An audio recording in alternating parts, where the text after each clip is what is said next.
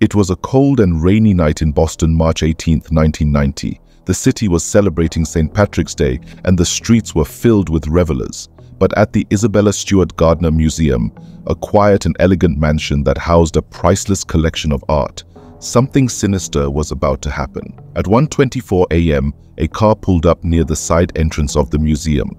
Two men in police uniforms got out and pushed the buzzer. They told the guard on duty that they were responding to a disturbance call and asked to be let in.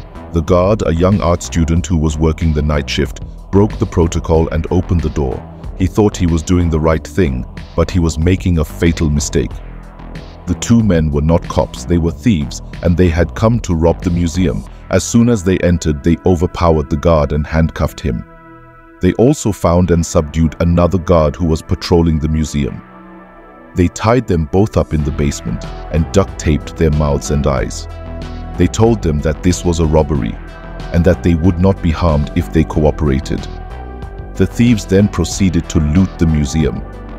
They had 81 minutes to execute their plan and they knew exactly what they wanted. They went to the Dutch room where they cut out four paintings from their frames.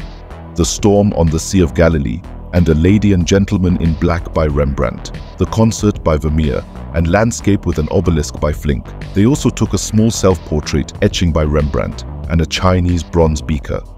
These were some of the most valuable works in the museum and in the world. They then moved to the short gallery where they stole five sketches by Degas and a bronze eagle finial. They also took a painting by Manet, Chez Tortoni from the Blue Room. They ignored other artworks that were more famous or expensive, such as a Botticelli, a Raphael, and a Titian. They seemed to have a specific taste or a specific buyer. They packed their loot in bags and boxes and made two trips to their car. They left behind empty frames, broken glass, and a mystery. They departed at 2.45 a.m. and vanished into the night. The guards remained tied up until the police arrived at 8.15 a.m. They were shocked and traumatized, but unharmed. They told the police what had happened, and the investigation began. The FBI, the U.S. Attorney's Office, and the museum joined forces to find the culprits and recover the artworks. They offered a 10 million reward for information leading to their safe return, the largest bounty ever offered by a private institution. But the case proved to be extremely difficult. There was no physical evidence, no fingerprints, no DNA, no surveillance footage. The thieves had worn gloves, hats, and fake mustaches. They had used a stolen car, which was later found abandoned.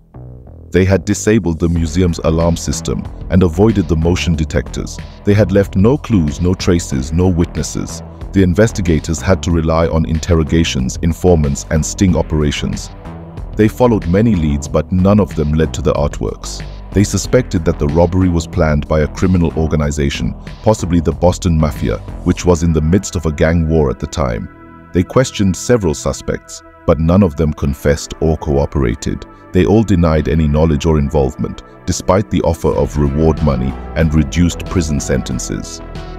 One of the main suspects was Bobby Donati, a gangster who was close to the museum's security director. He was also a known art lover and collector.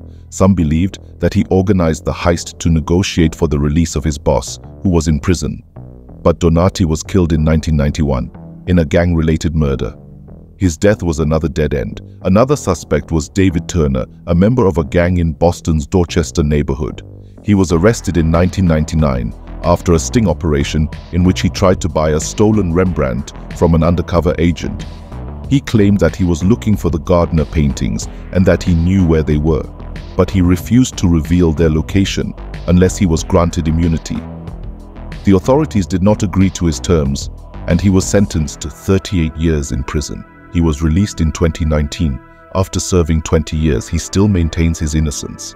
The Gardner Museum heist remains unsolved and the artworks remain missing.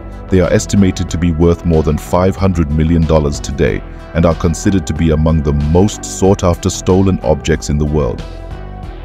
The museum still hopes for their return and keeps their frames empty as a reminder and a tribute. The FBI still pursues the case and welcomes any tips or leads. The reward is still available and the statute of limitations has expired.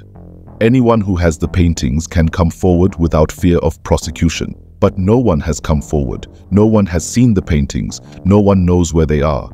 They could be hidden in a basement, a warehouse, a vault, or a wall. They could be damaged, destroyed, or altered. They could be anywhere or nowhere. They are the lost treasures of the Gardner Museum, and this is their story.